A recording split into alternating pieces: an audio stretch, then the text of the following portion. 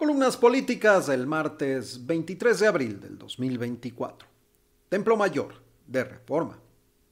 Mire, por donde quiera que se le vea, resulta muy preocupante que Claudia Sheinbaum haya sido detenida, así fuera momentáneamente, en un retén montado por personas encapuchadas a las afueras de Motocintla.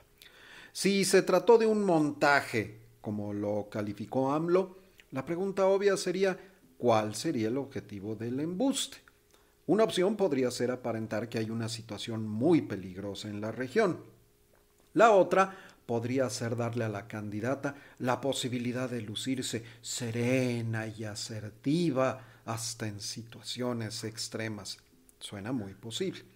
El asunto es que las otras versiones no son tan imaginativas.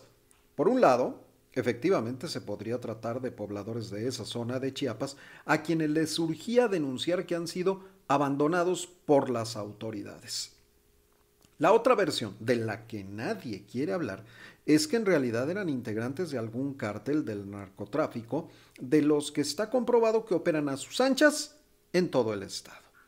El punto clave es saber dónde estaba la escolta militar que cuida a Sheinbaum en todas sus giras difícilmente habrían dejado que la candidata se pusiera en riesgo de manera tan fortuita, ¿no? Sea cual sea la explicación de lo que pasó, lo peor que pueden hacer las autoridades es tratar de hacer como que no pasó. Confidencial del financiero. Pejelandia, el puestecillo ambulante ubicado casi en la esquina de Palacio Nacional y que vende artículos alusivos a la imagen de AMLO. Y claro, que el gobierno de Martí Batres ha arropado, ya tiene a la venta la controvertida playera de Morena con la imagen de la Santa Muerte. Sí, esa de la que tanto se ha hablado y que reza, un verdadero hombre nunca habla mal de López Obrador. La misma que lució en un video Genaro Villamil, presidente del Sistema Público de Radiodifusión. En el puesto del Zócalo, Está disponible en todas las tallas por 200 pesitos. Lo más grave es que hay quien tira su dinero en esa playera. Bajo reserva del Universal. El set para el debate presidencial del domingo en los estudios Churubusco se encuentra casi listo. Nos comentan que se trabaja en las últimas revisiones para evitar detalles técnicos que puedan opacar el desempeño del debate, como ocurrió en el primer encuentro entre los candidatos.